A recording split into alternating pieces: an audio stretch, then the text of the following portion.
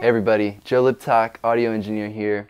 Today I'm going to be telling you guys how to reduce the level of your surround sound speakers in your surround sound audio setup. You may have a 5.1 setup, a 6.1 setup, 7.1 setup, whatever the case may be, you want to have your audio system optimized so that you can have the best experience possible.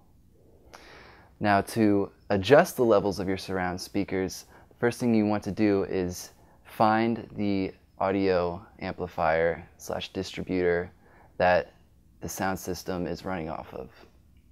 For my example, I'm using the Onkyo amplifier that you see right here. Then you want to access the menu to fine tune the speakers. In this case, it measures the audio level for the, each surround speaker by distance instead of volume. Some might say decibels, but in this case, it's measuring it in meters. You want to adjust each speaker so that it is correlating with the correct distance in this case to the listening position.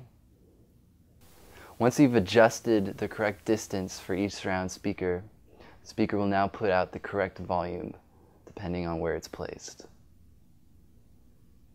Congratulations, you've just optimized your surround system to put out the correct volume for each speaker. Pat yourself on the back and go ahead and watch a movie or something because it's going to be a great experience now that you've done that. I'm Joe Liptock. Have a great day, guys.